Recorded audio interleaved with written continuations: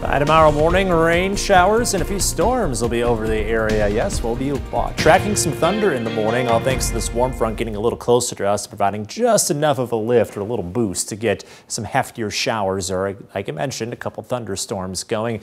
Not much happening on exact track radar yet, but uh, give it a couple more hours and we should start to see that radar really start to fill in. We turn to future track for kind of a large scale view. You'll see this warm front really stays to our south, so we don't get all of the warm air, but this weather system approaches enough to get the rain showers going, and there's those little pockets of heavier rain and storms. A lot of that's going to take place right near, if not north of the state line. So our Wisconsin friends, you're looking at some heavier showers, while south of the state line, more in the way of lighter rainfall. This really just kind of keeps going throughout the course of the morning. You can see the heavier rain moves out, but we'll have steady light rainfall at times to the end of the morning and into the afternoon before we see dry conditions going into tomorrow night. So zooming in, getting more of a local view on future track. You can see after midnight, about 1.30 in the morning, there's those spotty thunderstorms starting to blossom, and we'll continue to have those, uh, again, advance closer to the north over the course of those early morning hours. I think a lot of that heavy rain is going to be out by the time we get to sunrise. So the morning commute,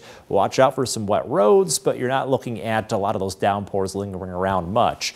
Over the course of the rest of the morning then, spotty light rainfall, especially as you head northward to get south of US 20. You can see here on Future Track, just not getting a ton of rain. They get a brief break heading into the lunchtime hours of tomorrow. And then we've got more activity filling back in late in the day. So kind of a wet start to the day, slight break in the middle of the day, and then some showers returning or filling back in later on. You can see on Future Track that by about 2.33 in the afternoon, steady light rain spreading across our backyard. That's going to continue well into tomorrow evening. We're finally dry by the time we get to tomorrow night.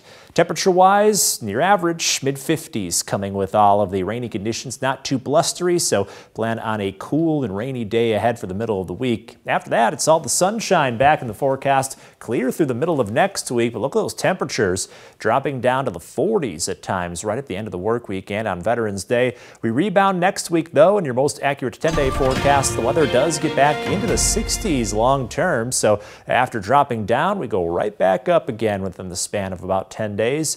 In the 4 degree guarantee, just off the bullseye today, but that's still a good result. 39 the cash total, hoping to get close to 50 tomorrow.